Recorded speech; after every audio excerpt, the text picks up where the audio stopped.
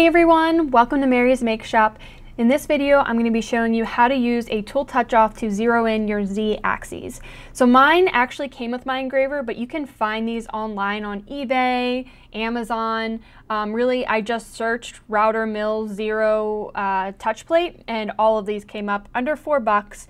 This is actually how I uh, wired mine up to my Acorn and I'll include the link to this schematic in my uh, description. So how did I find out that you could do this? I went to centroidcncforum.com and went to the Centroid Acorn CNC controller. This has so much information in it, but the tool setting options for routers, DIY CNC Scott just uh, posted on Tuesday, and he actually gave a couple macros for setting up uh, your your tool touch off. So the second one was to jog over the tool, and then the third one was to have it permanently in a fixed location. I just want to jog um, to the location on my part. So before I actually saved it, um, I went in and found where this macro is stored, and that's just in your local C directory, CNCM. If you scroll down, you'll see mfunc6. And I took my current mfunc6 and I copied it and made a backup. I am always so afraid of upgrading anything and my setup not working, especially when it is working. Don't want to fix anything that's not broken. But anyway, so I just made a copy and called that mfunc6 backup so that when I save this new macro 6, um, if it doesn't work out, I can always just go back to the one I had previously. So I hit save as and I named it mfunc6. You can just click on that to make sure the name is exactly um, what it's supposed to be. So whenever the M6 uh, command is called, this is actually uh, what, what uh, code is executed. So I'm going to link to this post in the description. Make sure you follow these directions as I did. Um, I'm going to point out just a couple things. The first one, it says use the wizard to set the PLC input for probe tripped NC, usually 7.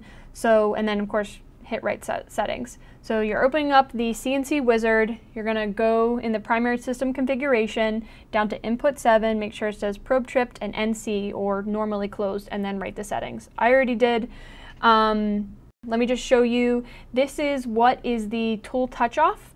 Um, it's just plastic on the edges, aluminum, it has aluminum plate on it. And here's the little uh, grabber or alligator clip that clips onto your uh, tool. So we're just going to first measure the uh, width of the tool touch off.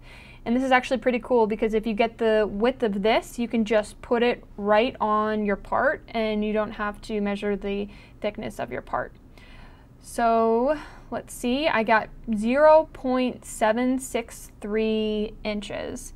Now with this width, what you're gonna do is you're gonna go into setup then into config or F3, and then you're going to go into parameters and you're going to look for parameter 71. And in parameter 71, um, you're actually going to type in the width or height of your tool touch off part. So for me, I got 0.763. And I'm going to hit enter, but always make sure you have to save this. Um, so F10 or save so now that we got that, we can just start um, my program. So with mine, it has jogging to X0, Y0, but then there you can see the M6 function, and it's going to go to the tool change position or home. Now it says, please change tool to tool number one, plus cycle to start. I already did that, so I'm just going to hit start. Then it says the current material thickness is zero, which I want, and then a couple other options. I'm just gonna hit one to auto reset current zero. I don't wanna deal with material thickness.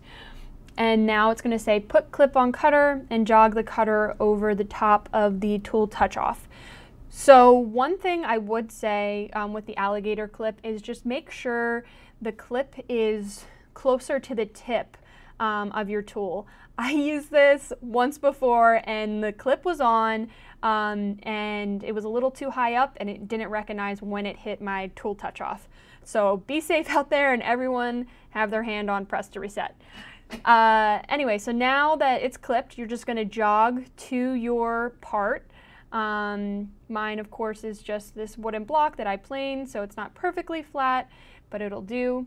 So once you've, um, you're over your part, you can just place your tool touch off there, and then you hit start. So now you let the magic begin and it's going to um, jog down until it touches the plate and then it'll just go back up. So that was a success and then it tells you remove clip from cutter, then turn spindle on, press cycle to start. So that's all I have for this one. Um, the next video I'm going to be showing you uh, that I started this cut and then mid-cut I actually did a uh, tool change and then re-zeroed my z-axes. So definitely check that out. As always, any questions, comments, please leave them in the comments below. Catch you on the next one.